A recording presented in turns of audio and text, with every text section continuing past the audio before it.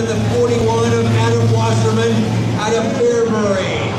Row number two, the six star of Brock and Roy Armstrong out of Beatrice, and the three of Taylor Hush out of Fairbury. Row number three, the 20 of Chad Gorman out of Beatrice, and the eight machine of Travis Blythe out of Beatrice. Row number four, the 46 of Ryan Gillen out of Sterling, Nebraska. Your lineup for heat race two of three here in your hobby stock division.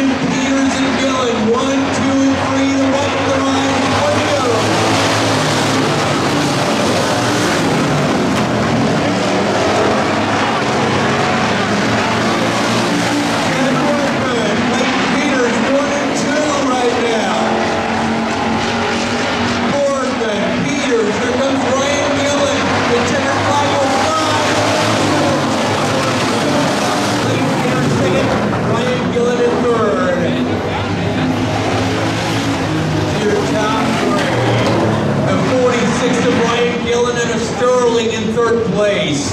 The 11A of Clayton Peter and Waco in second place.